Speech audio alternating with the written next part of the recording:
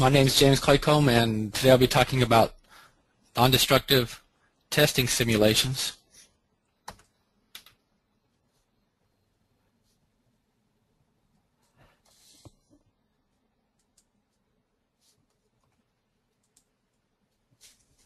using QuickField, and I'm with the Department of Mathematics and Physics at uh, Houston Baptist University and also at University of Houston Texas Center for Superconductivity.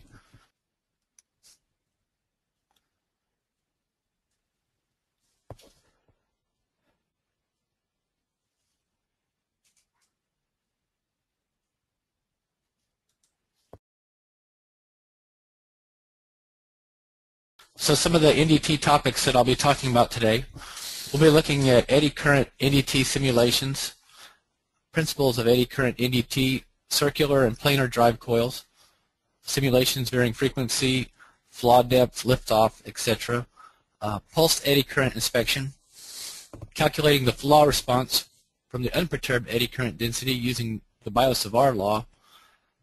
The next section will include permeability mapping, we map magnetic field perturbation near defects in magnetic materials, and also investigating the stress distribution near cracks, under loading, and also thermal expansion.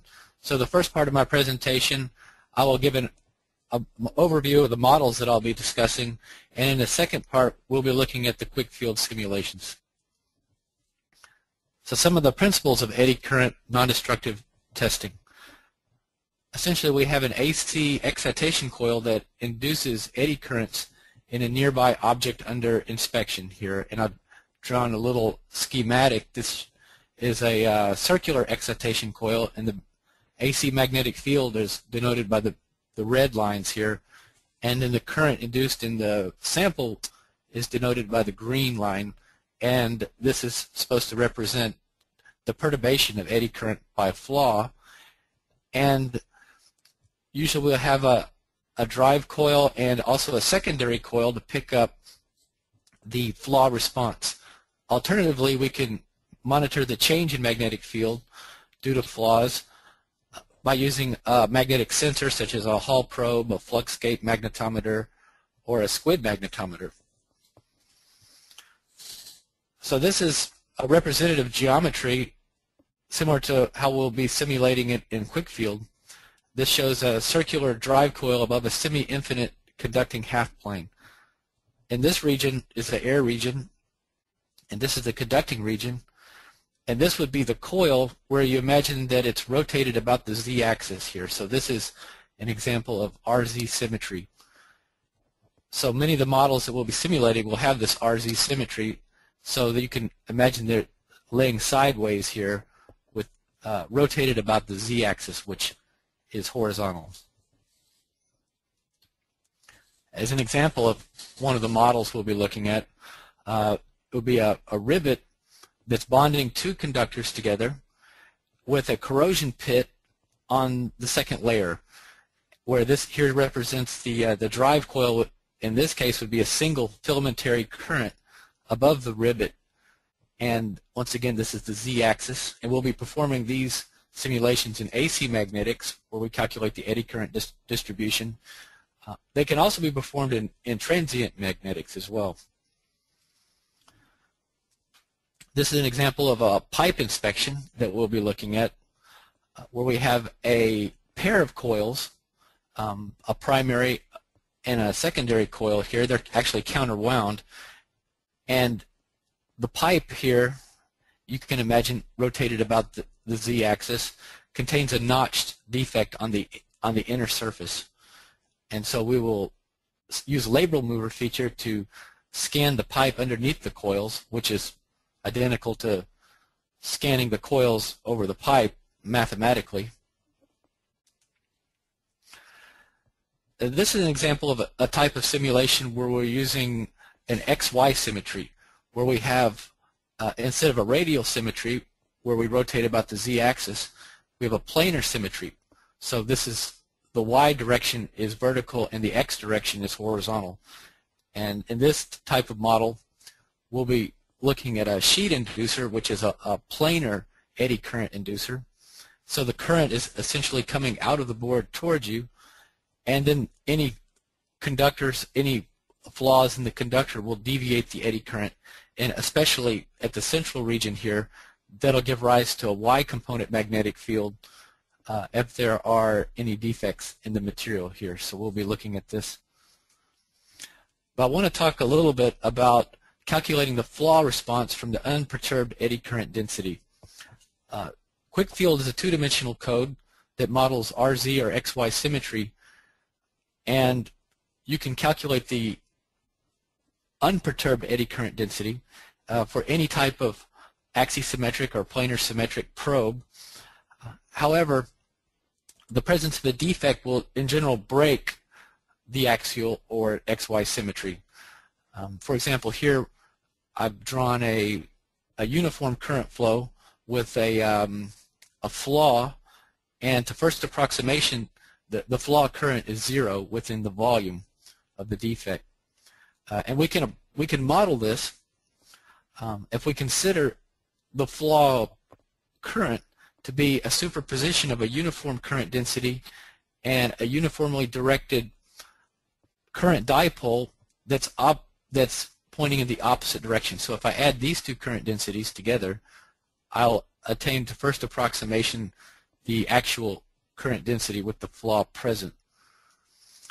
Um, this analysis neglects the flow of eddy current around the, the edges of the defect. And this is an AC current flow simulation conducted in QuickField that uh, here's a, a, flaw with zero conductivity, and this is done in uh, AC current module within QuickField.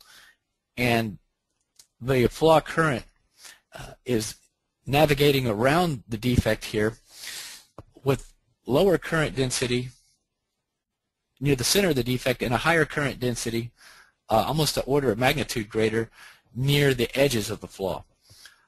Now, this current density can be uh, more accurately represented as a current dipole that's opposing the direction of the current, as well as a magnetic dipole component around the edges of the dipole.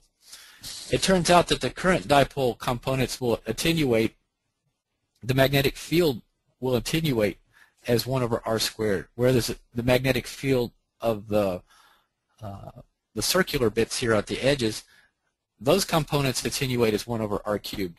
So that the current dipole approximation is working actually for smaller flaws here where uh, obviously if this was a very huge long flaw then this the approximating as a current dipole would be less accurate. Now if we approximate the flaw current as the as minus the unperturbed eddy current density within the volume of the flaw, we can therefore calculate the magnetic field due to the flaw current uh, from the Biot-Savart law, where the r prime coordinate is taken over the, the volume over the, of the flaw. Now for small flaws where the unperturbed eddy current density does not vary appreciably over the volume of the flaw, we can approximate this integral with simply the volume of the flaw. So we multiply the unperturbed eddy current density times the volume of the flaw times the geometrical factor will give us the change in magnetic field.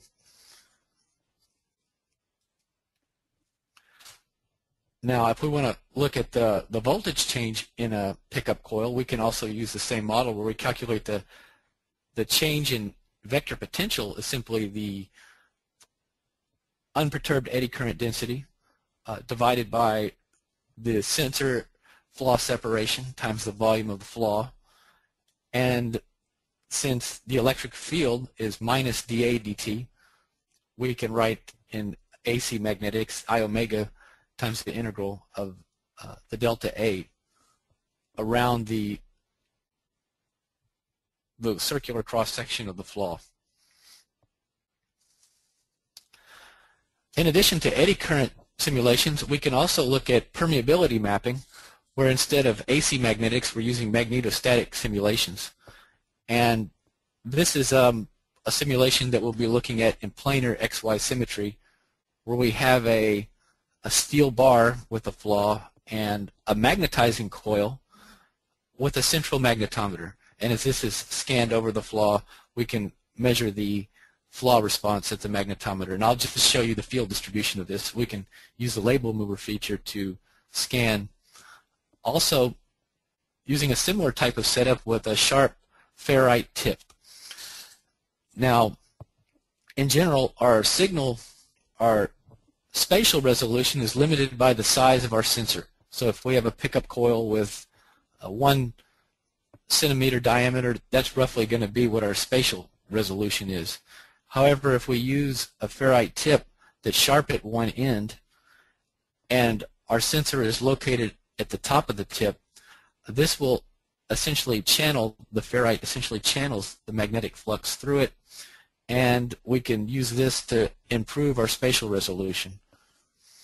Similar to a, a magnetic uh, AFM probe. However, this is much larger than an AFM probe. Also, a lot of the examples we're looking at you can find um, in the textbook Applied Electromagnetics using QuickField and MATLAB.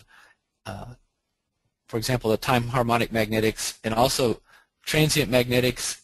Flaws can be simulated in DC current flow, AC current flow, um, and then the results of those can be used in the Biot-Savart law to calculate the flaw response. And finally, I'll, I'll end the simulations with an example with stress analysis where we're looking at the stress distribution near flaws. So I'll go ahead